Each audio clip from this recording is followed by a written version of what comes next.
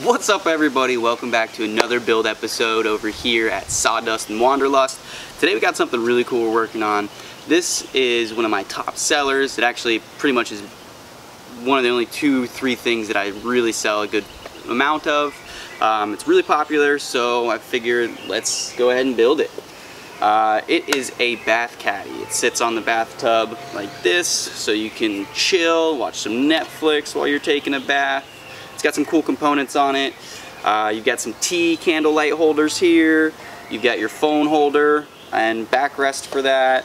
You've got your wine glass holder here, which keeps it nice and secure because you know you can't really take a bath without some wine.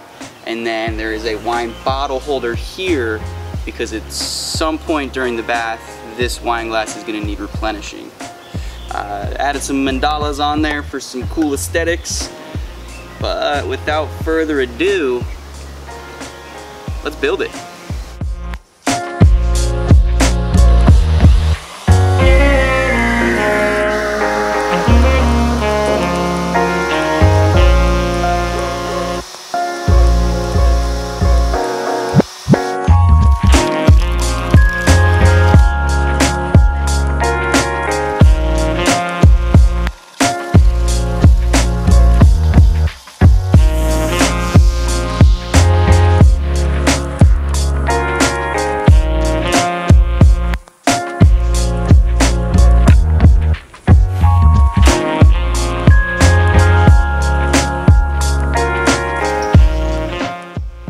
The wood for this project, you're basically just using a 1x10 or a 1x12, and then a 2x2 as the backer for the phone, and 1x2s for the legs.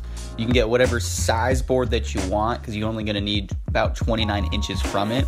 That's the size that I make my boards, but it's probably a good idea for you to take a measuring tape and measure the width of your tub so you can get a perfect snug fit. So if your miter saw is not big enough to cut the entire width of the 1x10 or 1x12, what you can do is make that first cut and then take a speed square and mark out where the blade needs to drop down to just so you can make it a little bit easier on yourself to kind of gauge exactly where that next cut needs to be and just line things up properly.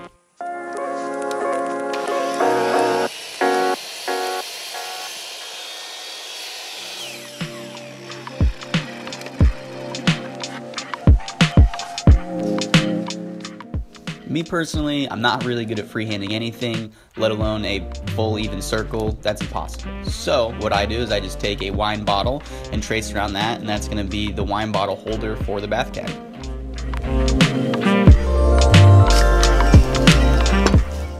For the tea light candle holders, what I like to do is I take a tube of caulk and kind of space it out as evenly as possible. Make a little reference line so I know I've got everything kind of lined up. And I take a tube of caulk and just trace around that, and that works perfectly for the candles.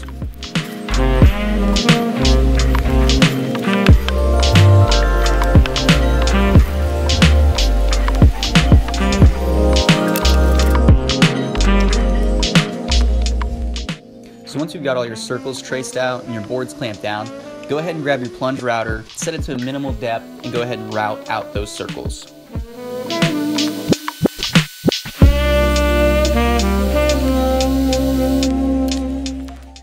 Next thing I like to do is I find the center of the board and I measure either four or six inches out from either side depending on whether it's going to be a phone or tablet there. I like to mark that out just so I have an idea of where my slot's going to go uh, for the phone or tablet. Then from there I can figure out where I'm going to put my wine glass holder.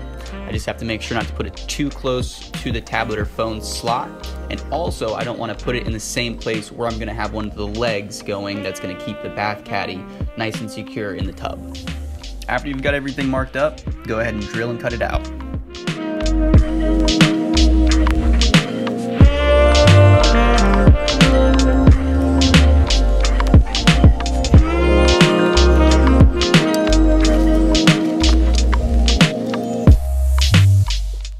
After that, you are in route to route out the phone and tablet holder.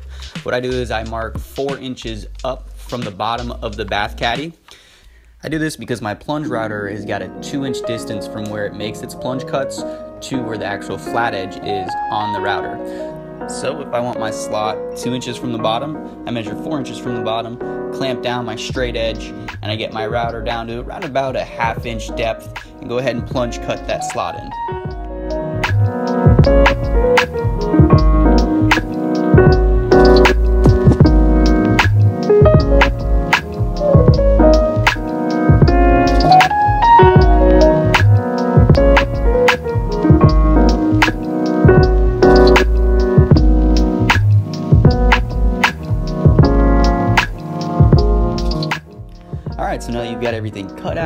Out out. The next step is to get to sanding. Take anywhere between 150 and 220 grit and give the entire top a nice sand over. Take down any rough edges, any splinters, any pen marks that you may have left, and go ahead and you know round over the corners and everything as well. Now it's on to the legs for the bath caddy. Take some 1 by 2s and mark them out just a little bit shorter than what the width of the bath caddy is. Cut two of them out and sand them down. You just want to pay attention to the orientation in which you have them spaced out and basically what way it's going to make the bath caddy face. What I like to do is I take the bath caddy, I take it to my tub, I set it on top, and I take a pen and rub it along the inside edge of the of the tub just so that's a perfect snug fit. But a pretty safe call is three and a half inches on the left hand side in from the edge, and then five inches in from the right hand side of the edge.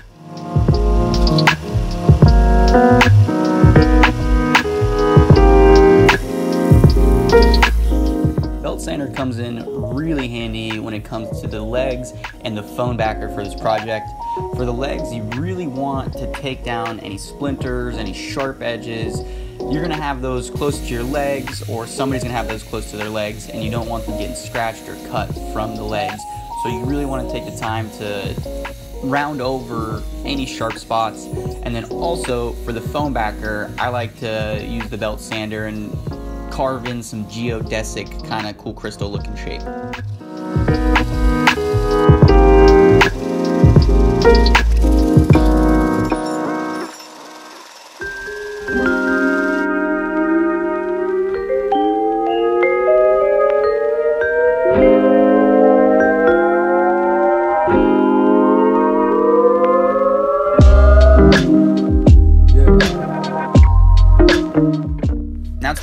Out the stain now that you've got everything sanded how you'd like it. I like to use this dark Jacobean walnut stain, which I use in a lot of the stuff that I make. And if you've ever seen me make anything before, you know, I like to lather it on, a real thick coat of the stain, and then I take some paint thinner and just wipe over the top of it to kind of give some good contrast.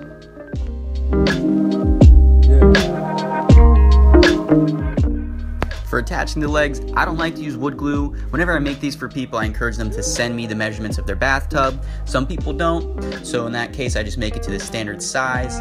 And in case there's any adjustments that need to be made, if the legs are too wide or too small, whatever, you can take them off and readjust it pretty easily.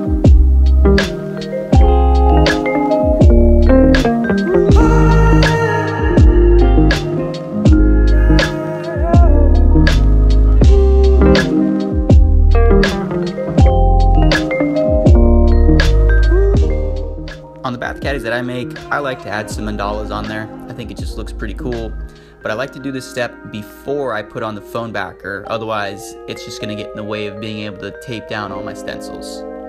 What's really key when you are using a stencil is having a stencil brush and only using a little bit of paint at a time. If you use a foam brush, it can push the paint under the stencil, and especially if you're using a, a, lot of paint, it's gonna get really messy really quick. So I'd rather do three light coats and maintain some really crisp lines than to get it done in one coat and just have it be blotchy and messy.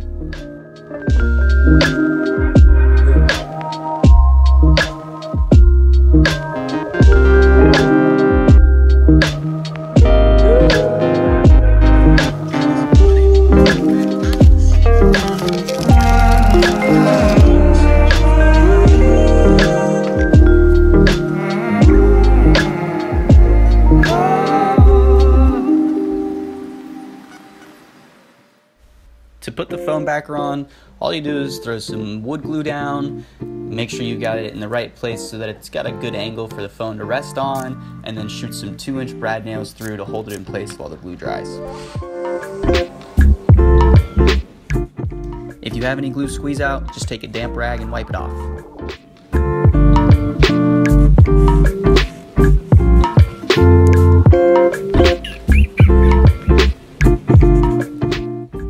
Thing you gotta do is put your finish coat on. You want to use something durable and pretty water resistant since this is going to be in your bathtub. I've used Thompson's Water Seal, I've used uh, spray on spar urethane, and I've used triple thick poly. I like the spray on stuff, it just goes on a lot easier and a lot cleaner. Thanks for watching. I hope you liked the video. And if you haven't already, go ahead and hit like and subscribe. I've got a few videos that I'm working on right now and should have out pretty shortly. Um, until that time comes though,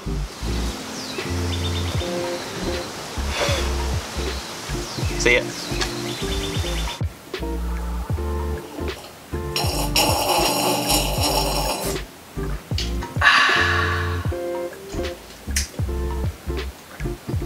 Oh,